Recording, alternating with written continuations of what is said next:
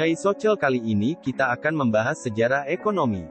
Kajian sejarah ekonomi merupakan spesialisasi ilmu sejarah yang relatif asing bagi sejarawan Indonesia, begitupun dengan sejarawan Barat, karena kajian sejarah ekonomi sendiri merupakan spesialisasi ilmu sejarah yang relatif baru. Penulisan sejarah ekonomi pertama dilakukan di Universitas Harvard pada tahun 1892, walaupun sebenarnya sejarah ekonomi sudah ditulis jauh sebelumnya.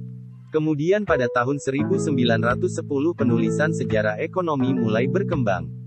Tujuan dari sejarah ekonomi adalah melepaskan diri dari anggapan bahwa sejarah hanya mengkaji fenomena politik saja.